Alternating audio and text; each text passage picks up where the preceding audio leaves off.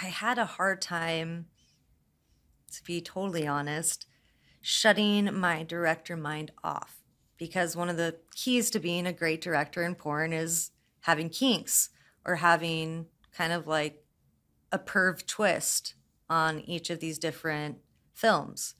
So, you know, I'd be sitting there eating at like Chili's and sexualizing the waitress or, you know, sexualizing the the entire event. And so I just felt as though my mind needed to not do that right now. Yeah. Like I needed I don't know. No, I know what you mean. So when I was directing a lot, um, I almost couldn't enjoy movies because all I did was think about how, How to the shot, into- like each shot, like the angle that they did, what That camera too. was that? Were they on a dolly? Is that a steady cam shot? Yeah. How is it lit? Like Yeah, and then the I'm like looking at their eyes. Oh, they have too many lights in their eyes, or oh, they don't have enough light on their exactly. Yeah, So- it takes you out of the out of the film because you're just thinking about the technical aspects of it. Yeah, so I wasn't really loving that part of it. Mm-hmm. I I realized that I really am a performer, Yeah. and I love being able to show up, do my work, leave with a check. Yeah, and it's a lot.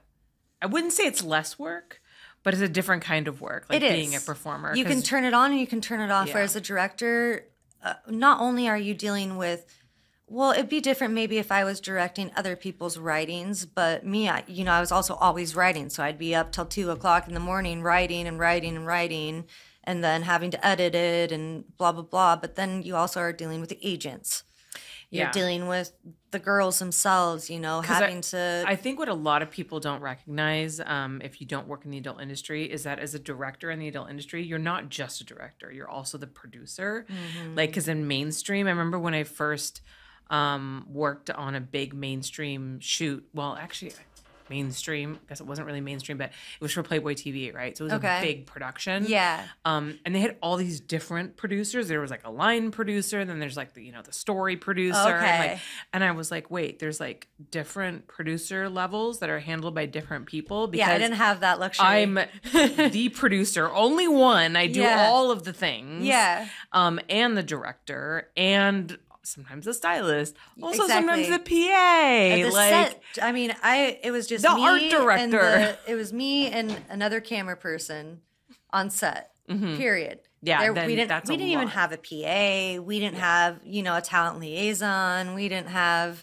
any a wardrobe stylist. You know, so you're sitting there you do having everything. uh, everything. everything. Your day never stops or ends. Yeah. It's just, it all bleeds into one. And for me, I guess it also doesn't help that I don't live in the cities that I'm directing and producing in. so then I'm away from family, I'm away from home.